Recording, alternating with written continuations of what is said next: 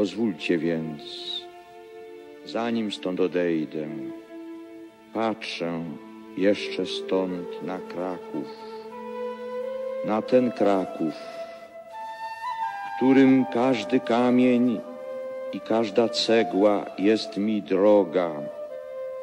I patrzę stąd na Polskę.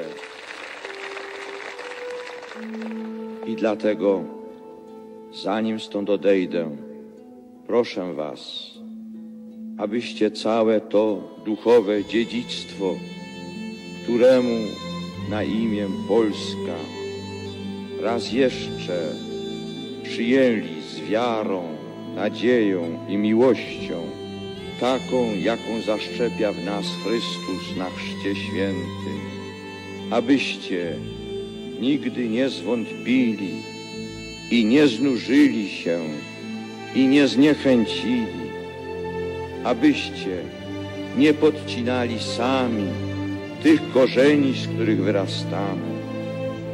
Proszę Was, abyście mieli ufność nawet wbrew każdej swojej słabości, abyście szukali zawsze duchowej mocy u tego, u którego tyle pokoleń ojców naszych i matek ją znajdowało, abyście od Niego nigdy nie odstąpili, abyście nigdy nie utracili tej wolności ducha, do której On wyzwala człowieka.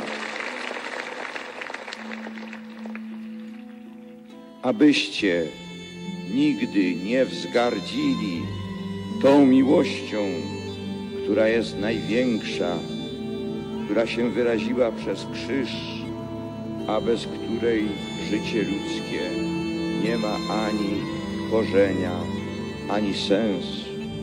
Proszę Was o. Amen.